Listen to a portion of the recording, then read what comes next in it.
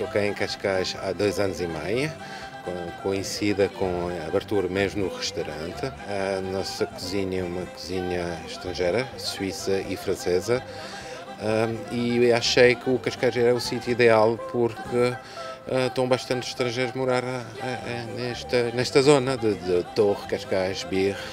Eu achei um povo muito simpático, muito acolhedor e, e enquadra-se perfeitamente aqui no nosso no restaurante e nosso tema do restaurante.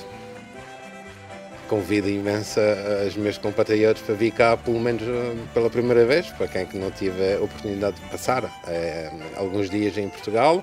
E Cascais é, obviamente, um destino uh, privilegiado para os meus amigos e familiares também. Quem que salta a vista quando vem para Cascais é praias, praias, praias primeiros, uh, o guincho. Uh, jogar golfe também, tem condição espetacular.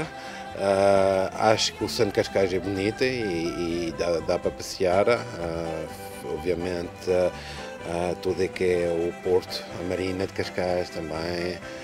E algumas atividades, como atividade esportiva, vela, há muitos campeonatos de velas e, e, eu sou um fanático mesmo de vela e gosto de convidar os amigos para ver as, as competições de velas em Cascais. Ah, acho que é mesmo o trânsito. Eu sou um adepto de deixar os carros fora das, das, cidades e andar de pé.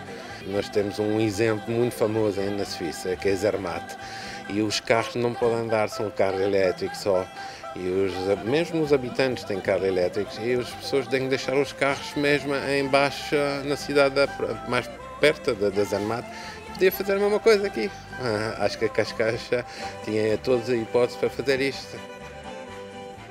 O maior é um conjunto de, de propostas e de ofertas que, que, que, que Cascais tem. Uh, adoro o, o, o, tipo de, de ambiente em Cascais, gosto também de tudo que é tipo de comida que oferta, proposta de vários restaurantes, hotéis. Acho que é um conjunto. O Cascais, sem este conjunto, não é Cascais.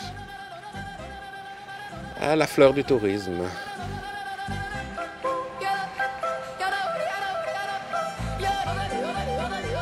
Thank.